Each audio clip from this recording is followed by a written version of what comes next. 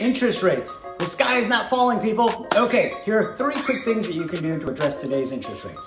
One, you can get an ARM, an adjustable rate mortgage product we haven't heard about in many years because quite frankly, we haven't needed it. However, now you can basically lock into a slightly lower uh, interest rate for the next seven years, 10 years, and then simply before the end of that term, when the uh, interest rate will readjust, you refinance out of it or you purchase another home, okay? Number two, you assume somebody's VA or FHA loan.